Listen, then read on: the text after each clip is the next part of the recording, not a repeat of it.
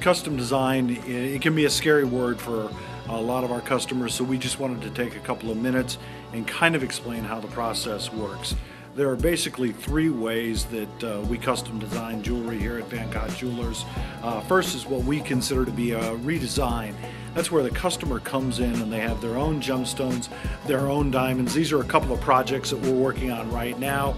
This is going to be a hand forged heart and then we're going to inlay diamonds around the outside for the customer. We've got a circle of life pendant um, where we've melted the customer's gold down, drawn it out into wire, and we're hand forging a, a, piece of jewelry. The second way that we can go about doing a redesign is through the lost wax method. These wax can either be grown through computer aided design, which we'll talk about in a minute, or they can be hand carved by one of our artisans here in the store. So you can bring us your old pieces and we can create a brand new treasure for you.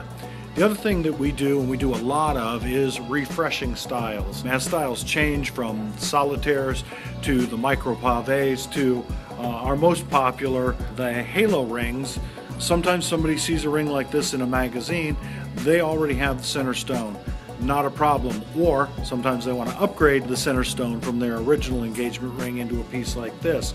And when you look at the rings, it's important to know these two rings are essentially the same ring. This is a micropave halo. Uh, we've got a little bit of a split shank here. This is a micropave halo, but it's with a single shank. Both of them are designed to fit perfectly up against any kind of wedding band.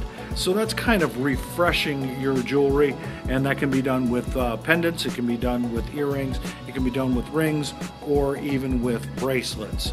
Now, the really exciting thing that we do here, and that's when we start from scratch, where you can create your own one of a kind. And I just kind of wanted to walk you through uh, one of the projects that we're currently working on, uh, where a customer had been searching for their one of a kind ring. They ran across this picture in a magazine, they brought it in to us. Um, we sat down and we came up with all the measurements, figuring out exactly you know, how big the ring had to be for her finger.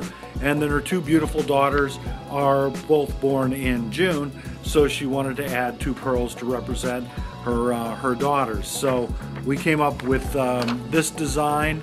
Then the wax that I showed you here will be grown to scale. Uh, the customer actually gets an opportunity to look at the wax for a final uh, approval.